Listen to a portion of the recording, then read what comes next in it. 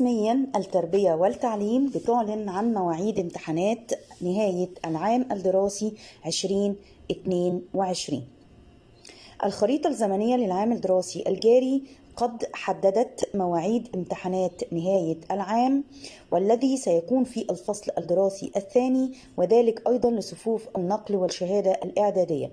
وقد أكدت وزارة التربية والتعليم بأن الامتحانات للترم الثاني ستبدأ يوم 7 مايو 2022 بالإضافة إلى أن الدراسة مستمرة حتى هذا التاريخ على أن يخصص الأسبوع الأخير من الترم الثاني إلى المراجعة قبل انطلاق الاختبارات في مواعيدها المحددة. والتي ستكون يوم 7 مايو المقبل. وقد أوضحت أن المديريات والإدارات تضع جداول الامتحانات وذلك في نهاية العام.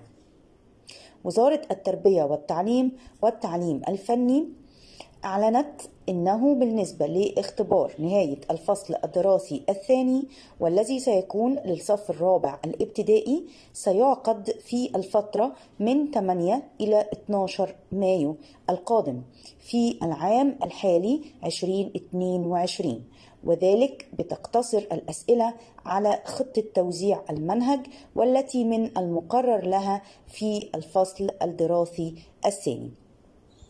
والجدير بالذكر أن الخريطة الزمنية والتي ستكون للعام الدراسي الجاري قد حددت موعد بدء الدراسة ومتابعة أيضا مدة أيام الدراسة الفعلية وذلك بعد حذف أيام الأجازات الرسمية ستكون 93 يوماً.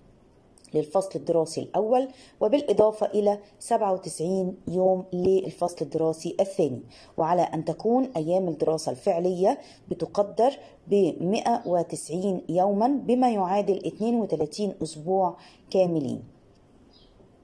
وكان بعض من أولياء الأمور كانوا قد طالبوا وزير التربية والتعليم بتعديل مواعيد امتحانات الصف الرابع الابتدائي لتعارضها مع أول أيام شهر رمضان المبارك والتي قوبلت بالرفض التام من الوزير والذي قال ردا على ذلك بأن الامتحانات في موعدها ولا تغيير.